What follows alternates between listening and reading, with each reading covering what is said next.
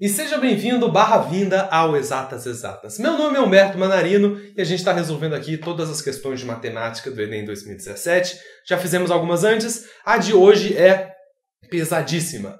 Sinceramente, é uma das questões que eu achei mais difíceis da prova de análise combinatória e eu vou te dar um truquezinho de como você resolver ela sem precisar decorar aquela fórmula estranha de combinação por repetição. Um brinquedo infantil caminhão cegonha é formado por uma carreta e 10 carrinhos nela transportados, conforme a figura. No setor de produção da empresa que fabrica esse brinquedo, é feita a pintura de todos os carrinhos para que o aspecto do brinquedo fique mais atraente. São utilizadas as cores amarelo, branco, laranja e verde, e cada carrinho é pintado apenas com uma cor. O caminhão cegonha tem uma cor fixa. A empresa determinou que em todo o caminhão cegonha deve haver pelo menos um carrinho de cada uma das quatro cores disponíveis mudança de posição dos carrinhos no caminhão cegonha não gera um novo modelo do brinquedo. Com base nessas informações, quantos são os modelos distintos do brinquedo caminhão cegonha que essa empresa poderá produzir? Então, para início de conversa, vamos interpretar essa questão. Essa questão está falando que eu tenho o caminhão cegonha de cor fixa, então a cor fixa não vai mudar em nada. E eu tenho, se você contar na ilustração, 10 carrinhos. Então eu tenho 10 carrinhos para eu pintar. E ele está me dizendo o seguinte: tem que ter um carrinho de cada cor, pelo menos. Então, desses 10 carrinhos, já está definido que a cor de quatro carrinhos. Eu já tenho um carrinho que tem que ser branco, outro verde, amarelo, não lembro as cores mas eu tenho que ter um desses de cada.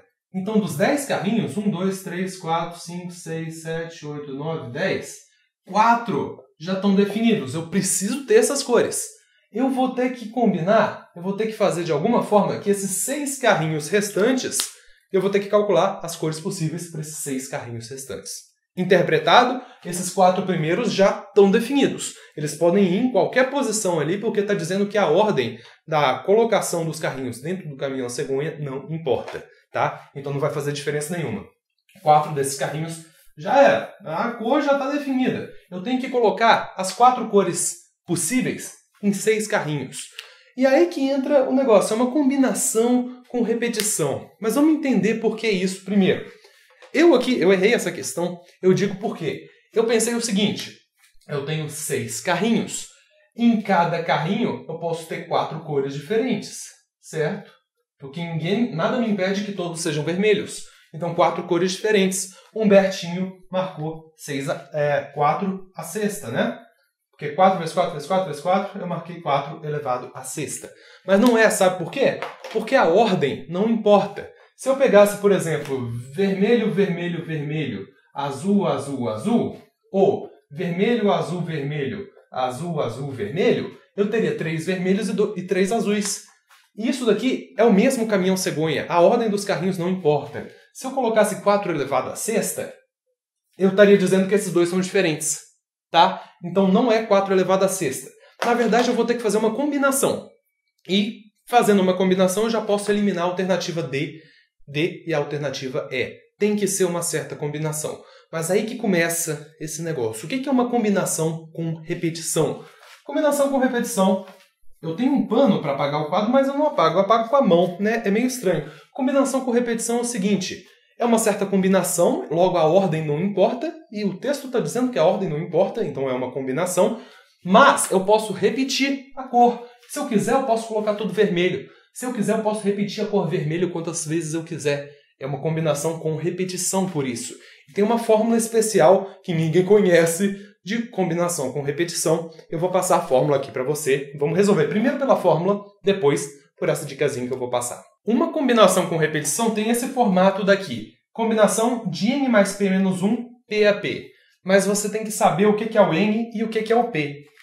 Decoreba, decoreba, decoreba. Detesto decoreba, por isso eu achei uma outra forma de explicar isso, mas detesto decoreba. P é o que você quer colocar. Você quer seis carrinhos. Então o P são seis carrinhos. O N é a quantidade disponível de opções que você tem para esses P's. No caso, cores. São quatro cores. Né? Então o meu N vai ser igual a 4.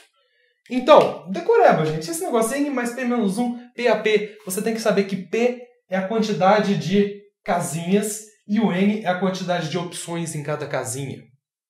Difícil decorar isso, né? Vai ser uma combinação de 4 mais 6 menos 1 dá 9, PAP 6. O negócio é que, além de ele cobrar uma fórmula que quase ninguém conhece, ele te deu a, com a combinação complementar a que está na resposta. Não tem combinação 9, 6 a 6 na resposta. Tem uma combinação 9, 3 a 3, que, que é igual, é a mesma coisa, mas que você teria que ter um certo tirocínio para lembrar. Lembra, gente? Combinação de 9, 6 a 6 é 9 fatorial sobre 6 fatorial, 9 menos 6 fatorial, que é 9 fatorial sobre 6 fatorial, 3 fatorial. Isso é a mesma coisa que uma combinação de 9, 3 a 3, que é 9 fatorial sobre 3 fatorial, 9 menos 3 fatorial, que é 9 fatorial sobre 3 fatorial, 6 fatorial. É a mesma coisa, tá? É uma complementar a outra. Se você não consegue ver imediatamente que é complementar, eu sugiro você dar uma olhada em aulas de análise combinatória. Esse negócio de combinação aqui. Beleza? Então a minha resposta, beleza. beleza. Ah, para de falar beleza, Humberto. A minha resposta é combinação de 9, 3 a 3. Mas, se você não soubesse essa fórmula, e eu acho que pouquíssima gente conhece essa fórmula, você não sabia fazer essa questão. Mas eu vou te dar uma dicasinha aqui de como você poderia ter feito esse negócio Daria um pouco mais de trabalho, mas daria para você resolver. O que eu sugeriria para você fazer é o seguinte: criar casinhas e jogar as opções dentro das casinhas. Deixa eu explicar para você o que eu quero dizer com isso. Com esse formato aqui não daria muito certo, porque eu tenho seis casinhas e só quatro cores. Vamos colocar quatro casinhas, porque são quatro cores, e eu vou ter que jogar os carrinhos em alguma dessas casinhas. Obrigatoriamente, cada carrinho tem que estar em uma casinha, porque eu tenho amarelo, branco, laranja e verde. São as cores. O carrinho tem que ter uma cor. Então, eu tenho seis carrinhos.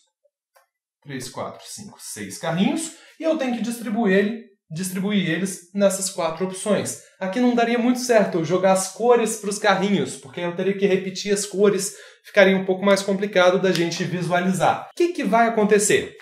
As opções possíveis disso de acontecer. Eu poderia colocar os seis carrinhos na cor amarela e nenhum nas outras. É uma opção. Eu poderia também fazer o quê? Colocar os seis carrinhos na cor branca, ou seis carrinhos na cor laranja, ou seis carrinhos na cor verde. Então, seja lá o que eu for fazer aqui, eu posso repetir isso quatro vezes. Por quê? Seis em uma, ou seis em outra, ou seis em outra, ou seis em outra. Quatro vezes. Mesmíssima coisa eu poderia fazer o quê? Cinco carrinhos em um e um carrinho na outra. Ou um carrinho aqui. Ou um carrinho aqui. Então eu tenho três opções de fazer isso, mas eu também iria estar multiplicando por quatro, porque eu poderia pegar esses cinco carrinhos e colocar aqui e distribuir um, dois, três, ou distribuir um, dois, três, ou distribuir um, dois, três. No fundo, eu estou fazendo o quê? Tudo que eu for fazer, eu estou multiplicando por 4. Porque são quatro opções de cores, não são? Então, tudo que eu fazer, tudo que eu fizer, nossa, tudo que eu fazer, que feio. Se eu colocasse 4 aqui, eu iria achar uma certa quantidade vezes 4. Que eu poderia colocar aqui, ou aqui, ou aqui também, né? Tudo vezes 4. Se você olhar nas alternativas, as opções são combinação de 6, 4 a 4, combinação de 9, 3 a 3 e combinação de 10, 4 a 4. As opções de elevado a a gente já tinha eliminado, porque a gente sabe que é uma combinação. Agora a gente sabe que a nossa resposta, no fim, vai ser isso, mais isso, mais isso, mais isso, mais isso, mais isso. Vai ser uma resposta que tem que ser múltipla de 4. Porque em todas as minhas opções eu vou estar multiplicando por 4. A minha resposta tem que ser múltiplo de 4 também. Só tem isso daqui que é múltiplo de 4. Se você fizer a combinação, isso daqui não é múltiplo de 4, isso daqui também não é múltiplo de 4. Por eliminação, só poderia ter sido essa. Essa questão foi muito difícil. Essa questão, sinceramente, se você não souber essa formulazinha da combinação com repetição, já era. Tá? Isso daqui foi uma coisa que eu consegui pensar, uma forma de você fazer. Você poderia somar tudo isso daqui, mas iria te tomar 20 minutos da prova, não seria legal. Mas, sinceramente, essa foi a questão mais difícil da prova, na minha opinião, porque exigia um conhecimento que ninguém tinha. Tá? Então, é isso. Eu espero que você tenha gostado. Se você gostou dessa dica aqui, você vai falar para seus colegas, sempre que você falar para seus colegas, diz o seguinte: eu vi no Exatos Exatas.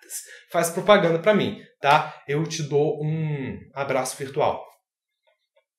Beleza, pessoal? Eu vejo vocês na questão seguinte. A gente vai falar sobre. Não lembro qual é, mas. A gente vai acabar fazendo todas de matemática de qualquer jeito, então. Se a moto lá embora, lá fora, deixar? É? Valeu! É isso, eu vejo vocês na próxima e fui!